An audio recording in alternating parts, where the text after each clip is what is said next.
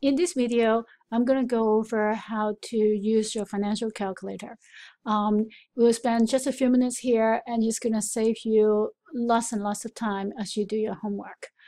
So the look and feel of your calculator may be slightly different, but if you look at the buttons or the registers on your calculator, they are the same. So your calculator may just have a different color.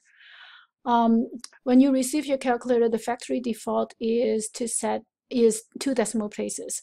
I'm going to go over the basic of the calculator and also show you how to set the number of decimal places to 4, which is what we want to use for most of the calculations. In your calculator, the register has a basic function which is printed on the button itself. So if you press this number here, you'll get the number 1. And if you do the, the addition sign, so 1 plus 3, for example, equal, you get 4. So that's a pretty basic uh, financial function. Um, However, this calculator also have a additional function which is printed above the the um uh, the button itself.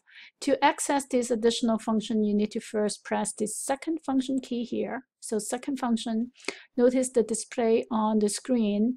And now when you press the period key, instead of getting a period, you'll get the function that is printed above it.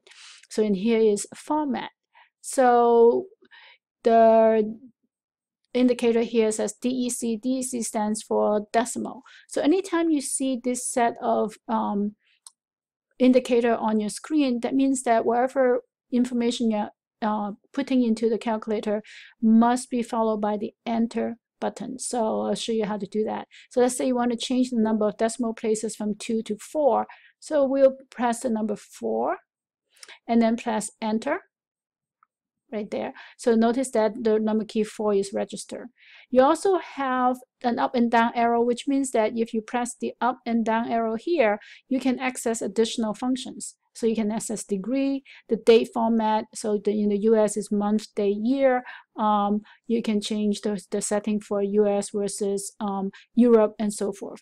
Um, we will not change those settings in this class. We'll just, uh, so we can exit that menu by pressing the key button. So now your calculator is all set. It has four decimal places. Good luck.